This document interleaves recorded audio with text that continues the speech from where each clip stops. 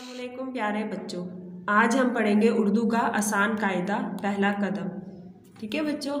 तो आज हम करते हैं पेज नंबर, जो सफ़ा नंबर है हमारे पास वो क्या है? Thirty six. ठीक है बच्चों? थर्टी सिक्स पे हमें दिया गया है, पढ़ाई और रंग भरें। नून।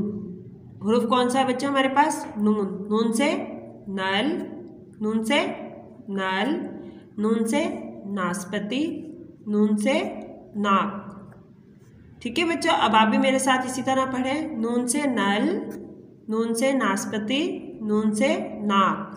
अब हम क्या करेंगे? हमें जो नून की फॉर्मेशन दी हुई है ना यहाँ पर, जो शेप दी हुई है, इस पर हम नुक्ते पे पेंसिल फेरेंगे। इस तरह से। आधे में छोड़ देंगे फिर हम। नून में क्या आता है? एक नुक्ता तो इधर नुक्ता लगाएँगे हम। इसी तरह हमें नीचे दिए गए पेंसिल फेरें। नीचे नुक्तों वाले हरूफ दिए गए हैं, हमने इन पर क्या करना है? पेंसिल फेरनी है। तो इसी तरह हम यहाँ पर नून पे पेंसिल फेरेंगे। यहाँ पर आदेश काल भी दी हुई है तो उस पर भी हम इसी तरह से करेंगे। दूसरे नून नून से नल। ये इसी तरह। बाकी जो दिया गया है, आपने खुद इसके ऊपर पेंसिल फेरनी है। मैंने जस्ट आपको दो करके दिखाए अब हम क्या करेंगे बच्चों? नाशपति में और नाक में रंग भरेंगे।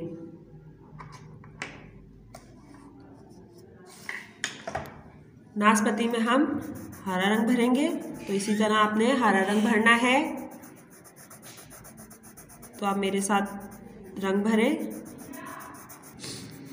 तो देखो बच्चों, इसी तरह हमने ना जो तस्वीर है ना नाशपति की, इसके अंदर हमने हरा रंग भरना है। तो आपने भी अपनी बुक के अंदर जो आपकी किताब है ना, उसमें इसी तरह रंग भरना है।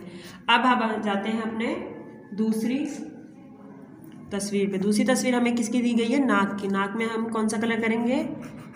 Light colour. स्किन का कलर होता है ना, लाइट ब्राउन कलर तो हम वो कलर करेंगे। तो देखो बच्चों, हमने नाक में भी कलर जो रंग हमारा है वो भर लिया है। ठीक है अब यहाँ आज हमने नून करा। नून के साथ हम हम कौन सा हरूफ सीखेंगे? वाव। ठीक है बच्चों? वाव पे, पे सफ़ा नंबर हमारा ट्वेंटी सिक्स पे दिया गया है। पढ़े और रंग भरे। वाव। हरूफ क्या है हमारे पास बच्चों? वाव। वाव से वर्दी वाव से वैन। तो अब हमने क्या करना है? हमें वाव दिया गया है, इसमें हमने नुक्ते दिए गए हैं हमें। तो इसके ऊपर हमने पेंसिल फेरनी है, इस तरह से। ऊपर से राउंड शेप होगी, गोल शेप में, और नीचे लाके थोड़ा सा सीधा। ठीक है बच्चों? इसी तरह हम नीचे पेंसिल फेरें। वाव दिया हुआ है हमें उस पर पेंसिल फेरनी है। बाकी जो है, आपने इसी तरह अपना वर्क खुद करना है, अपनी ही बुक्स में। अब हम क्या करेंगे? तस्वीर दी हुई तस्वीर में हमने रंग भरना है। रंग हमने कौन कोई भी भर सकते हैं, जो आपको अच्छा लगता हो बच्चों तो इसी तरह मैं आपके अंदर पिंक कलर करके दिखा रही हूँ जो गुलाबी कलर है ना, वो कर रही हूँ। ठीक है बच्चों?